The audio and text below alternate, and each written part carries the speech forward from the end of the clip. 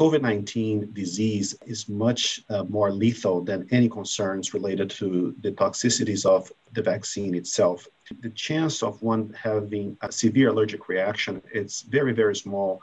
Uh, is 11 cases per million, or let's say one in 100,000. 14 days or so after the first injection, 50% of the people are believed to, to get immune to the first uh, dose of the vaccine and seven to 10 days after the second uh, injection, if you get either Pfizer or Moderna, uh, 95% of the individuals are immune to COVID 19. So, again, a very safe and effective vaccine program. If only a few people get COVID 19 vaccine, COVID 19 will be here for years.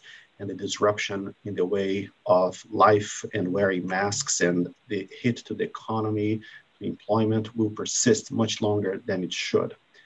And, uh, and it's the right thing to do. Uh, being hospitalized with COVID 19 and re- respiratory failure, chronic uh, sequelae from COVID 19 is something that's very serious, very expensive, and certainly not comfortable. I got the Moderna vaccine, which was the one available here at our HCA hospital in Gainesville. Got the shot on my left arm. I didn't feel a thing for the, when the time I, I got the injection. I was monitored for 15 minutes and went back to work. And uh, it, essentially, I was sore uh, maybe for three or four days. My left arm, a couple nights I couldn't sleep on my, my left side here, but other than that, I didn't have any fever, chills, headaches, fatigue, myalgias, or any uh, other side effects from, from the treatment or the vaccine.